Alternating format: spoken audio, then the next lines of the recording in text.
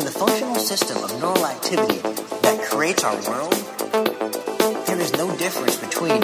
dreaming a perception and an action and actually the waking perception